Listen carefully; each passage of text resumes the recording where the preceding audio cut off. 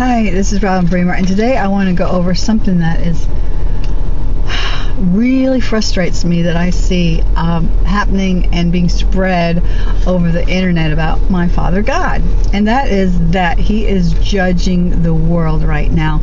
That all the earthquakes, the fires in Colorado, wherever they are, the fires, the earthquakes, the floods, the tornadoes, the hurricanes, and all the destructive weather, the uh, groups of animals, fish dying, falling out of the sky, the birds, and so on. Well, fish, mm, well, maybe they fell out of the sky, I don't know, but they were dead. Birds falling out of the sky. But, and that is that God is judging the world.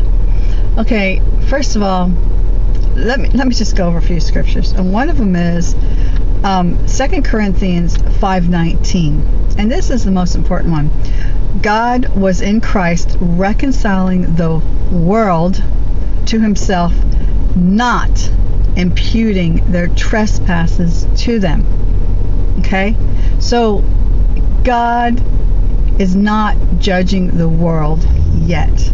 Not until the Christian gets taken out. And the rest of the scripture goes on to say that God has given us the ministry of reconciliation. Okay, reconciliation means to bring them back to God.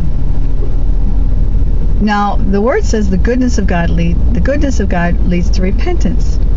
You get people saved not by saying you're a sinner, you're going to hell, you broke the Ten Commandments, you're getting what you deserve. That's not how you get people saved. You get people saved by the goodness of God, just the way Jesus did. He laid hands on them, he healed them, he raised the dead, he cleansed the leper, he cast out demons. He showed his disciples how to prosper financially, getting money out of the fish's mouth, uh, multiplying their businesses, all the fish they caught. They were fishermen, and all the fish they caught in their nets. He showed them how to be a fisher of men, and that is by blessing people, not by cursing them.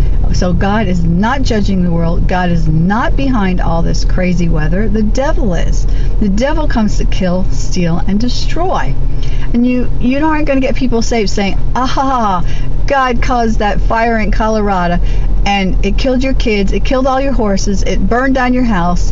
And they're going to say, "Whoopee! I want to serve that God." The goodness of God leads to repentance. Okay?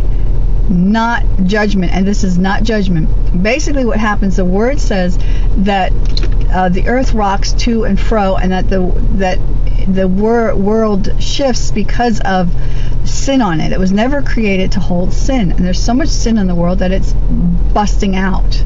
Okay, it's overflowing. It's like a sponge. Uh, you put a sponge, sit it right here in my town, and you fill it with water. Well, when it gets so full, it's going to overflow. Okay? The earth can't take all the sin, and all this stuff is happening as a result of sin, as a result of Satan being the God of this earth, because he stole that position from man. And anyway, so get back to this. Goodness of God leads to repentance. Okay? Uh, and and God is going to be judging the world after we're raptured. Uh, not now. We're not. We're not um, appointed to wrath or God's judgment, and we'll never be judged because when God looks at us, He sees Christians through the blood of Jesus.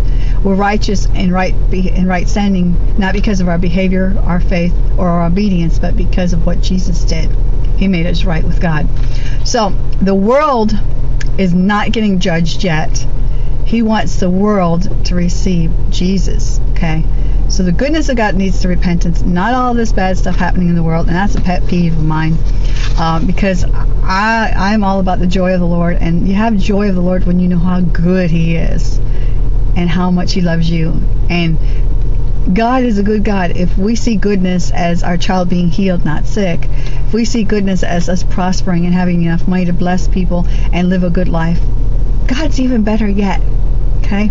So anyway, I'm going to get off of it. My name is robinbremer.net is my website check out my books, check out my published books coming out September or sometime around there. Uh, get on my website, learn to walk in God's power and God's presence, and just be filled with joy because of that. And I'll talk to you.